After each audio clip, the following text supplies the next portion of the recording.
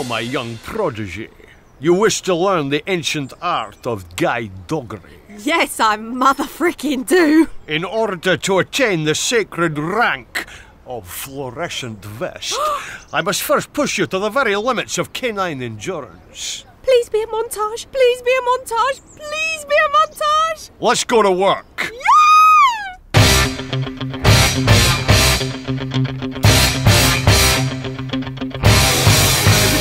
The top line for me.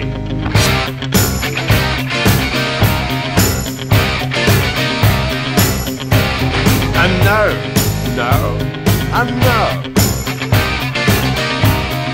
Number one or number two?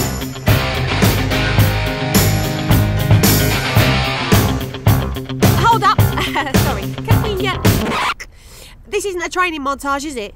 It's a trip to the opticians set to music. Pretty much, yeah. So basically, all I need to be a guide dog is eyesight. How many paws am I holding up? One. Welcome aboard.